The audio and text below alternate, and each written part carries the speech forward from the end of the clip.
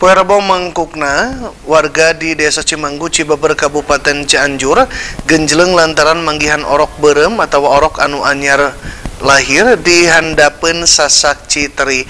Orok anu kayana pikarunya ente saharita dievakuasi turta dibawa ke salah seji imah bidan di Sabuderen eta tempat. Hirung hasil tina lampah teuni orok berum atau nukakarabro kapanggih keluarga dihandapeun sasak walungan Citeri, Desa Cimanggu, Kecamatan Cibeber, Kabupaten Cianjur. Dina kaayaan hirup eta orok lalaki teh saharita dievakuasi warga ka imah bidan di sabudeureun eta tempat pikeun dirawat saheulaan. Salah seorang warga tati anu teu ngahaja manggihan eta orok kaayana dibuntel ku lawan bodas. Tati saharita laporan KRT Orokaya warga sejana pating kurunyung nyalamperkeun cek tati kakara ayeuna dirina manggihan orok berem anu dipicen di handapeun sasak walungan Cipetir. Eta orok teh masih tembong ayat tali ari-ari tur dierong kakara brol pisan harita. Udah gitu aja. Pas melihat bayi apa yang dilakukan ibu bu? Saya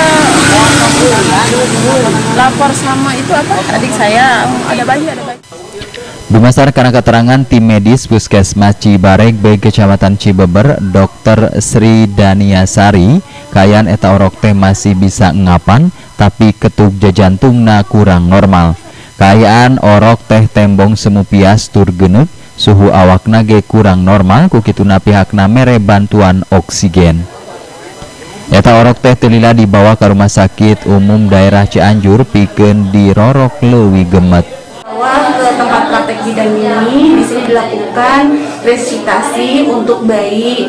Karena bayi e, diperiksa agar skornya ternyata di bawah tiga. Kondisinya pucat kebiruan lemas dan suhu di bawah normal. Cek saksi sejena sameme micin orokna pelaku dirong kungsi datang ke tempat praktek bidan. Lantaran ayah getih anu ngarah celakan dina ubin teras imah bidan tapi kaki wari tacan aya keterangan resmi ti pihak polisi patalikana eta kajadian teh. Bikin sahulan eta orok teh dirong ngahaja dipicen ku indungna lantaran ngarasa wirang. Heri Setiawan Bandung TV